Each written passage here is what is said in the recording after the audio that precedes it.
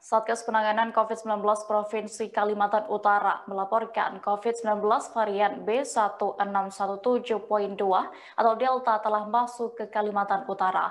Dari laporan itu diketahui Kabupaten Tanah Tidung sebagai wilayah penyumbang terbanyak COVID-19 varian baru asal India itu. Dari hasil pemeriksaan genom, sebanyak tiga kasus COVID-19 varian Delta yang terdeteksi di Tanah Tidung Sebelumnya, Dinkes Kaltara mengirimkan 32 spesimen ke Balit Bankes Kemenkes Republik Indonesia. Dan dari 32 spesimen yang dikirimkan, sebanyak 12 spesimen yang telah diperiksa, di mana dari 12 spesimen yang sudah diperiksa tersebut terdapat 8 spesimen yang menunjukkan COVID-19 varian Delta. Informasi lengkapnya akan disampaikan oleh rekan wartawan kami dari Tribun Kaltara, Risnawati yang kini sudah tersambung bersama saya. Halo Risna. Halo Dea, selamat siang Tribuners. Ya Risna, bisa Anda jelaskan uh, terkait varian Delta di Kabupaten Tanah Tidung saat ini?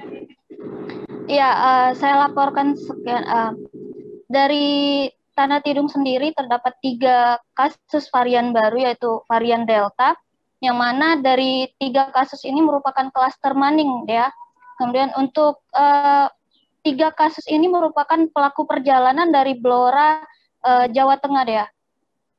Iya, baik. Berarti tadi sudah diketahui ya dari mana asalnya dari Blora Jawa Tengah. Memang iya, mereka saat itu ada keperluan apa di sana, Krisna? Oh ya, uh, dari ketiga orang tersebut merupakan uh, ingin mengunjungi keluarga di Desa Maning, Kecamatan uh, Betayau, begitu deh.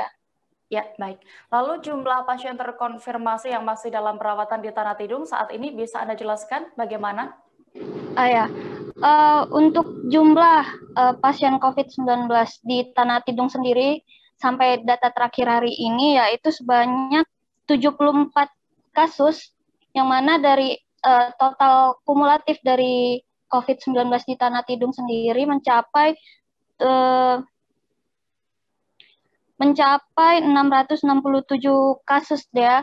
Kemudian untuk jumlah uh, pasien sembuh di Tanah Tidung sendiri mencapai uh, eh, 588 kasus, yang mana dari uh, dari total kumulatif kasus COVID-19 di Tanah Tidung uh, dari 6 667 kasus ini, lima di antaranya meninggal dunia seperti itu.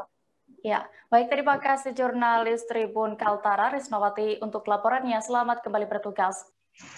Tribuners, informasi tadi sekaligus menutup perjumpaan kita dalam live update siang ini. Masih di tengah pandemi, kami kembali mengingatkan kepada Anda untuk terus menerapkan protokol protokol kesehatan di mana pun Anda berada dengan ketat.